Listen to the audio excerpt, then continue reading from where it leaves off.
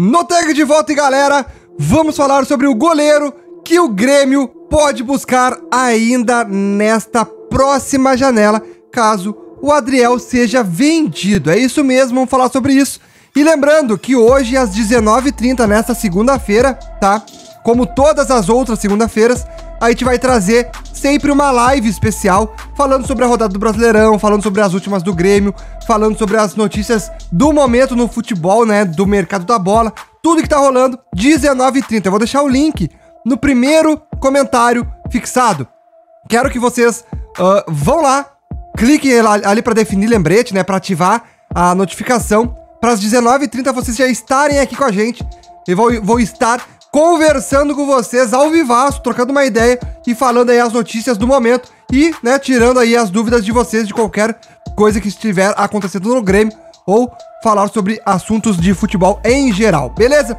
Vamos falar sobre o assunto do momento, né, que é o do Sérgio Rocher. Inclusive, vamos falar no Noteg Talks. Mais detalhes ainda sobre isso, a minha opinião e tudo mais. Mas a notícia de fato de hoje é essa. O goleiro que o Grêmio pode buscar no exterior é Sérgio Rocher, caso o Adriel seja vendido. A informação vem lá do Gabriel, do Eduardo Gabardo, né? E o seguinte, a gente já sabe que o Grêmio tentou o Sérgio Rocher no passado. É um goleiro que o Grêmio tem dinheiro para buscar. É um goleiro que quer vir pro Grêmio. É um goleiro que tem amizade com o Soares e com o Carbacho. Então seria sim este nome o principal, o primeiro da fila para o Grêmio contratar caso o Adriel seja vendido. Uh, o, Adriel, o Rocher, inclusive, foi titular aí no Uruguai da Copa do Mundo. Uh, e ele quis esperar né, no, até, o, até o, o, final da Copa do Mundo para tentar fechar algo com o Grêmio. Acabou que o Grêmio já tinha contratado outros jogadores, tirou ele de prioridade, tentou dar chance aí pro Adriel. E aí ficou, né? Deu todo esse rolo, ficou nessa, essa incógnita de o que que iria ser feito a respeito dos goleiros.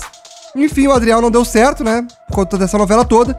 E agora, então, aos 30 anos, o Rocher, que é goleiro do Nacional, termina seu contrato no final agora de 2023 e a partir de junho ele já pode assinar pré-contrato com outro clube.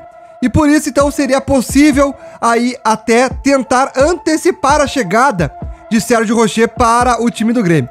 Então, por enquanto, é importante também reforçar que não existe negociação em andamento, tá, gurizada?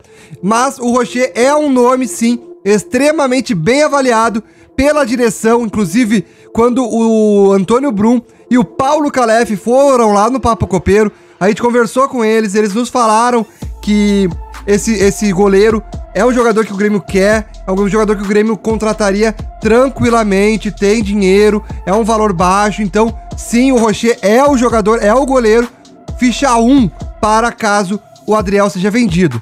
Então o Adriel deve, não, não deve, né, mais voltar ao time e o Rocher deve ser aí o novo goleiro para chegar na próxima janela de transferências. Beleza? Vamos falar sobre isso. Vou dar minha opinião, vou conversar sobre isso e muito mais no próximo, uh, na próxima live agora, no Tag Talks, 19h30. Marca aí, tá, gurizada? O link vai estar tá no primeiro uh, no primeiro comentário fixado, vai estar tá na descrição também. Clica lá e vem pra live, 19h30, eu espero vocês. Vai fazer uma live de umas duas horas, mais ou menos, para conversar bastante sobre as notícias do mundão da bola e, obviamente, do Grêmio. Tamo junto, um abraço, valeu e até a live. Fui!